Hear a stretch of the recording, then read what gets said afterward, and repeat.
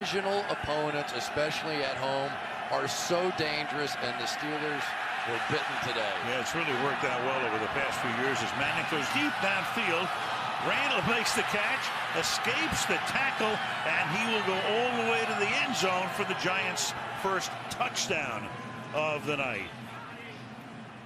So Manning just launches one downfield. They missed a tackle on Randle, and it's a 72-yard touchdown. Yeah, Eli Manning had to be looking off to the left-hand part of the field, get a little bit of pressure because the safety jumped way left that time, Andrew Sendejo, and left wide open down the field in a one-on-one situation. Big time throw by Eli Manning there, and then the adjustment after the hit by Sendejo to stay on his feet. And that comes with a minute